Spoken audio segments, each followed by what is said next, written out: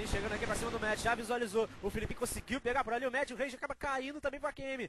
Fica o Vini. Lá pelo outro lado nós temos o Ed aqui tentando avançar pela varanda, vai tentando caçar por ali o Mendes. Ele tenta sprayzar, soltou tudo que tinha de bala ali, conseguiu pegar o Mendes, mas o Akemi rapidamente pega o Ed. Ficou somente o Vini ali no game. É double kill pra ele, belo trabalho vai fazendo o Vini. É um X2, ainda tá difícil aqui pro Vini. O que será que ele vai brotar? C4 tá plantado ali no B. Nós temos ali o Rush no Castiel, marcando fechado. Olha o Vini conseguindo pegar mais um, já pega ali o Akemi. Só falta o Rush. Olha o Rush muito recuado, não dá cara ali o Rush quietinho na dele. Ainda vem ali o Vini, já procura pro lado, procura pro outro, fatiou, passou, vai tentando caçar, ele dá a costa, olha a frieza do Rush, o Vini ainda consegue eliminar ali, botando round pra equipe da Binks, 3 a 0 no game de Johnny, que round faz o Vini, highlight!